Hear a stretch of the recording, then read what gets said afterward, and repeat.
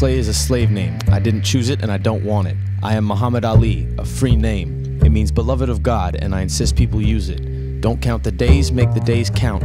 I figured that if I said it enough, I would convince the world that I was really the greatest. It's the repetition of affirmations that leads to belief, and once that belief becomes a deep conviction, things begin to happen. Even the greatest was once a beginner. I wrestled an alligator, I tussled with a whale, I handcuffed lightning, thrown thunder in jail.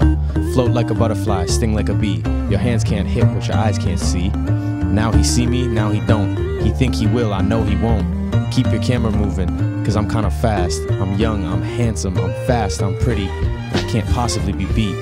The man to beat me hasn't been born yet. I am not the greatest, I'm the double greatest.